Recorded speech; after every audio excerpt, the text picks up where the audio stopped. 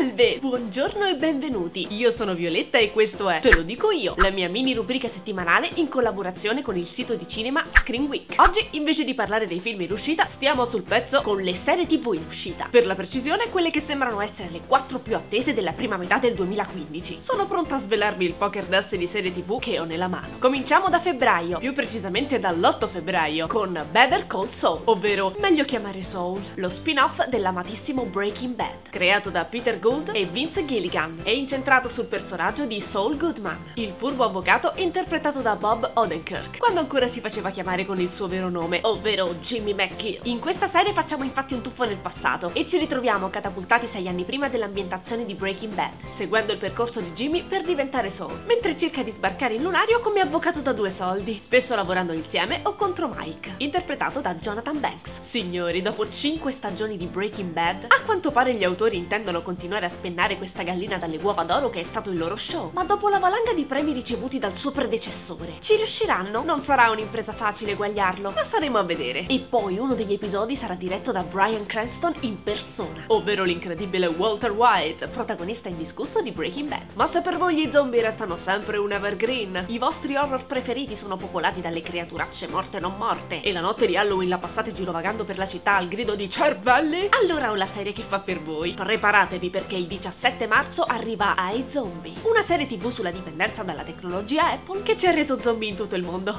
Ah, sto scherzando! La verità è che Rob Thomas, il creatore della mitica Veronica Mars, sta per tornare con questa serie tv nuova di zecca sul mondo dei morti viventi. I Zombie è l'adattamento dell'omonimo fumetto di Chris Robertson e Michael Allred, pubblicato da DC Vertigo. Lo show avrà come protagonista Olivia Liv Moore, interpretata da Rose McIver, una studentessa di medicina che ha bisogno di nutrirsi di cervelli per conservare la sua umanità. E così comincia a lavorare presso l'ufficio del coroner, dove può trovare un bel po' di roba fresca. Ma c'è un ma. Per ogni cervello che ingurgita, Liv eredita i ricordi della persona a cui apparteneva. E questo le permette anche di aiutare la polizia a risolvere i casi. Un gioco da ragazzi, pronti alla buffata? E se c'è bisogno di un supereroe nella vostra vita, preparatevi all'appuntamento del 10 aprile con Daredevil. Dopo Agents of S.H.I.E.L.D. e Agent Carter, ecco arrivare questo gioiellino di miniserie targata Marvel Studios, in collaborazione con Netflix. Lo so che i vostri ricordi di Daredevil sono legati a Ben Affleck e Jennifer Garner, al tenero incontro sul set che li ha fatti convolare a nozze, eccetera, eccetera. Ma qui diciamo addio a Ben e ciao a Charlie Cox per il ruolo del cieco Matt Murdock, che poi tanto cieco non è perché ha sviluppato un udito finissimo che gli mostra il mondo che lo circonda, sostituendo la vista perduta e rendendolo il celebre vendicatore Daredevil. Ma l'incontro Marvel-Netflix non ci porta solo Daredevil, ma prossimamente darà alla luce anche tre miniserie, ovvero Jessica Jones, Pugno d'acciaio e Luke Cage, che infine uniranno le forze tutti insieme e approderanno nella serie The Defenders, i difenditori. Se potrà dire. Ultima ma non ultima, approda il 14 maggio Wayward Pines, firmata niente di meno che dal regista autore dei più celebri thriller degli ultimi anni, M. Night Shyamalan. Il sesto senso, Science, The Village, non so se mi state a capire. Wayward Pines debutta su Fox in contemporanea con gli States e in altre 125 nazioni. Il più grande lancio day and date del mondo. Questi fanno proprio sul serio. E con 10 episodi ci raccontano le vicende di Ethan Burke, interpretato da Matt Dillon, un agente dei servizi segreti in missione a Wayward Pine, Idaho, per indagare sulla scomparsa di due federali. Ma non vi fate ingannare dall'atmosfera tranquilla e bucolica della cittadina, perché proprio come lo storico Twin Peaks nasconderà inquietanti misteri. Allora, qual è la serie tv che preferite? Quella che aspettate con più ansia? Passate su Episode 39 per votare gli episodi delle vostre serie preferite, commentare le trame e molto altro. Io sono Violetta e mi trovate come Violetta Rox su tutti i social e su YouTube. Ai prossimi appuntamenti. Ciao!